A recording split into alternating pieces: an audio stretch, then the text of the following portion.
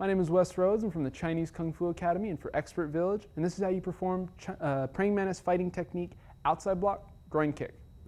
Now this is a technique using the outside block and a retreating step. You're going to block, and as you step back, you lift the knee, straighten the foot, and hit with either the top of the foot or the shin. Most groin kick techniques, the goal is to actually pick the person up off the ground. You aim to try to connect the foot to their head through their groin.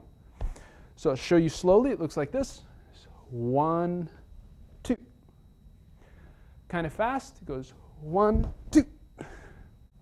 To demonstrate, as they step in and punch with the right, you step back, pick the right foot up, boom, hit the groin. One more. One, two. And one kind of quick. It's one, two. Just like that. And obviously, I'm not killing him, but the idea again is to pick your foot up all the way through their head aiming with either the top of the foot or the shin, and keeping a nice stable stance with the left leg. That's how you perform the praying mantis fighting technique outside block groin kick.